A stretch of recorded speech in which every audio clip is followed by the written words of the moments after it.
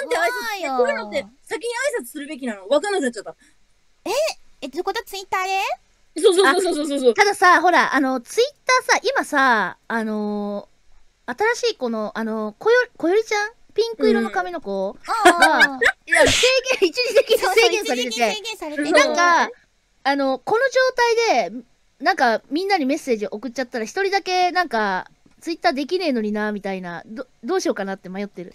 え、でもこれ制限だからさ、そうなんね一応ね、中身はね、見えてんだよね。あ、中身見えてんだ。そうそうそうそうそう。あ、じゃあ、ちくわ大名人って書いとく。やめな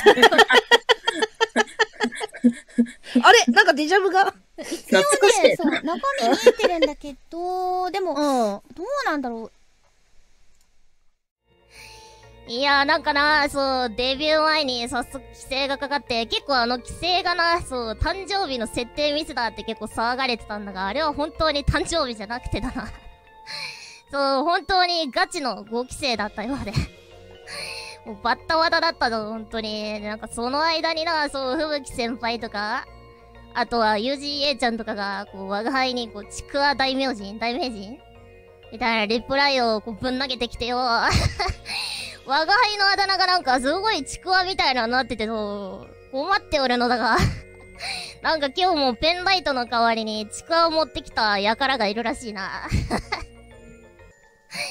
そう、ちくわ大名人そう、めっちゃ言われてんだよな、そう。ファンアートとかもさ、結構我が輩高頻度でこうタグ漁ってるんだけど、ちくわが含まれてるものがめちゃくちゃ多くてだな、そう。もうなんかちくわが浸透しすぎている。だからもう、我が輩がいつかな大きいステージで歌うことになったらみんなペンライトじゃなくてちくわを持ってきてくれ。ちくわを持ってきてくれ。